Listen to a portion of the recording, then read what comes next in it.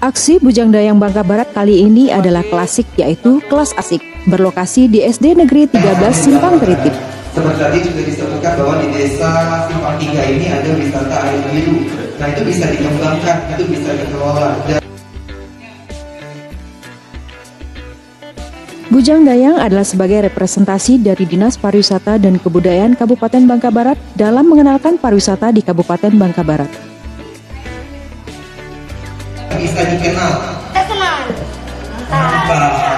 Bujang Dayang Bangka Barat bersama dengan Kejaksaan Negeri Bangka Barat dan KKN Setie Pertiba Pangkal Pinang berbagi ilmu dengan para peserta didik tersebut.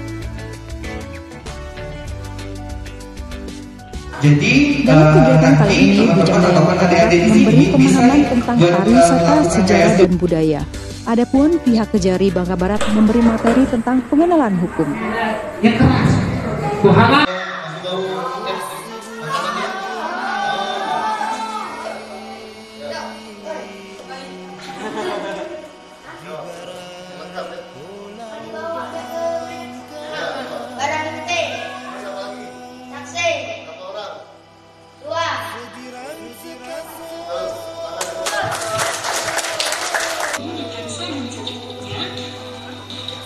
Tidak hanya itu, di masa pandemi ini, aksi dari KKN Setie Pertiba Pangkal Pinang memberi materi tentang protokol kesehatan, misalnya tentang mencuci tangan yang baik dan benar kepada para siswa.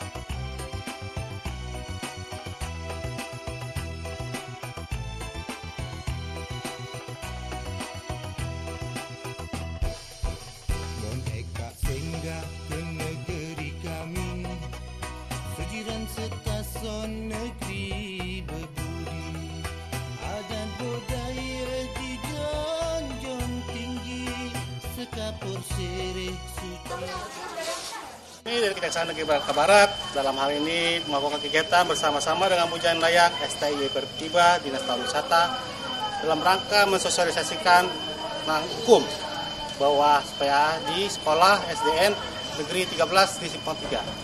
Dua tugas kami di sini adalah memberikan pemahaman kepada anak-anak tentang hukum, apa sih akibat dari hukum itu, dan selain itu juga Kejaksaan juga mendukung sektor pariwisata supaya anak-anak juga mengenal wisata sejarah yang ada di Bangka Barat seperti misalnya Wisma Ranggam, Numbing bahwa Bangka Barat memulai nilai histori yang sangat tinggi. Hai, saya Rantina Fikauli. Dalam hal ini eh, kami mewakili KKN STI Pertiba Pangkal Pinang angkatan ke-28 dalam melaksanakan kegiatan klasik di SD Negeri 13 Simpang Tritip, tepatnya di Desa Simpang 3. Dalam hal ini kami didukung oleh pemerintah daerah yaitu Dinas Pariwisata dan Kejaksaan Negeri Bangka Barat.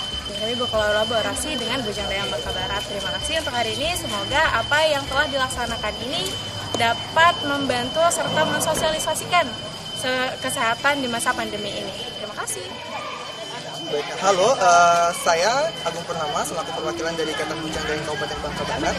Pada kesempatan kali ini kami telah melaksanakan kegiatan yang kami beri nama klasik yaitu kelas asik di mana tujuan dari kegiatan ini adalah untuk memberikan edukasi kepada generasi muda terkait pemahaman mengenai pariwisata, sejarah, sosial dan juga budaya yang ada di Kabupaten Bangka Barat. Saat ini juga kita melakukan kolaborasi dengan tim KKN dari STIE Pertiba yang mana di SD Negeri 13 Simpang Tritip ini mereka mengabdi untuk bisa memberikan pelayanan masyarakat. Jadi untuk seluruh eh, generasi muda yang ada di Bangka Barat, tunggu aksi selanjutnya dari kami Bujang Dayang Bangka Barat Klasik, kelas asik Pulihkan ekonomi dan kesehatan di masa pandemi. pandemi.